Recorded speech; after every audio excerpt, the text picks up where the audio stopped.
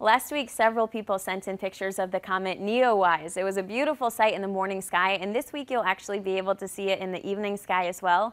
We have an article up on that on woodtv.com if you want to read up more about it. So through this week, we have a few more interesting events that you'll be able to check out. Jupiter is going to be in opposition the night of July 13th. So here's what that means. The Earth is going to be between the Sun and Jupiter. Jupiter is going to be directly opposite the Sun. So the sun is going to set in the west as Jupiter rises up in the east. Saturn is also going to be visible, but Jupiter is going to be far brighter. Other things going on this week, you'll be able to see Venus and the moon very close together. So the thin crescent moon is going to pass by Venus through the week.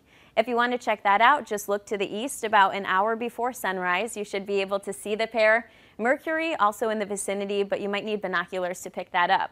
By the way, the moon and Venus are the second and third brightest celestial objects in the night sky, so they should be fairly easy to see.